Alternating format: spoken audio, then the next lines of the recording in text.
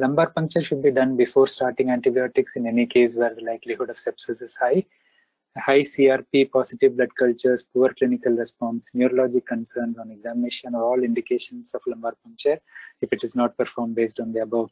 If you don't perform the lumbar puncture for any reason, if clinical instability, parental consent, you should clearly document it. The CSF glucose, protein, and cell count, gram stain, and culture are the tests studied. So typically more than 32 white blood cells and more than 60% polymorphonuclear cells is suggestive of meningitis.